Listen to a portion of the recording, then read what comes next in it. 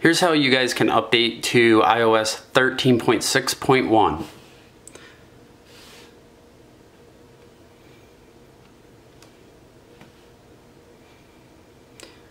If you don't have it installed already, you should be able to find it right here.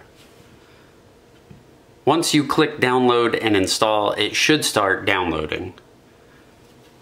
Your iPhone's going to blink a couple of times, but all you need to do is wait until you see the Apple logo show back up, and it may flicker a couple of times, but then you need to let it install. You should have a pop-up message once it installs. Then what you need to do is go in to your settings, and you can verify in there that iOS 13.6.1 did install.